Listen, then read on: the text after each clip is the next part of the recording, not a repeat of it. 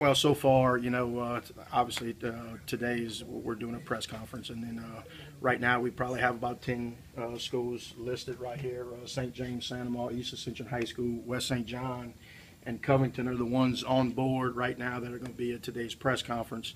Uh, the other four schools here: McDonogh 35, Westgate High School, which was actually the first school to register here in the state, and uh, Lutcher and Terrebonne are all on board right now, making uh, the field of uh, 10 before we actually start uh, the registration process. Um, you know, eh, we're going to take the first 32 uh, schools that uh, that go online and register, and after today, it, it- you know, I think it's going.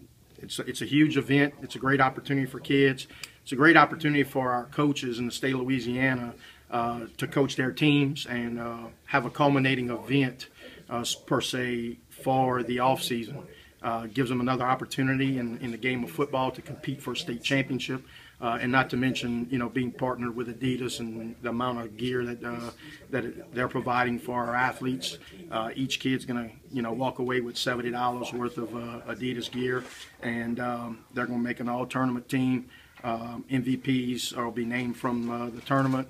Uh, those guys will receive a nice uh, Adidas package, retail value of three hundred dollars. So uh, it, you know it's a great event. Now we we getting a lot of positive feedback from the coaches around the state. Um, you know. Uh, Westgate was the first one to uh, to register, and since Westgate uh, Westgate has registered, it's been you know like wildfire. There's this added dynamic once this one goes down of having schools from around the region have a chance to represent uh, their states. What are your thoughts on just Louisiana kids and getting a chance to showcase themselves first here and then in, in a regional dynamic and, and what some of the guys here might be able to show folks? Well, for, from a coach's standpoint, you know, uh, you always think your product is the best. You know, uh, I know per capita, Louisiana high school football is, is of high quality, and it's probably, um, and I'm, I'm a little biased here, but I think our football is the best uh, that our country has to offer uh, when you look at the amount of kids that we put in the NFL and in Division One major college football on a yearly basis. Uh, it's a great opportunity uh, for our kids to actually go against uh, the kids from Florida and the kids from Georgia.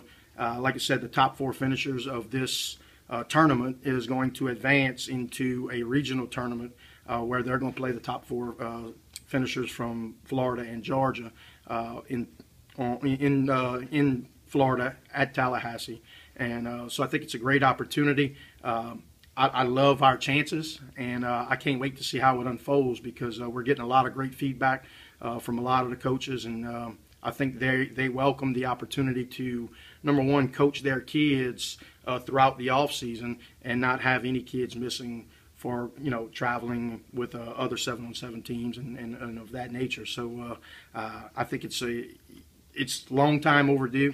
I think our state needed something like this, and uh, you know when you look at the success that's, that Texas has had, um, there's no doubt in my mind that Louisiana is uh, is the next one to explode, and, and uh, I think our kids are going to really enjoy uh, the opportunity that Arrow is providing for them.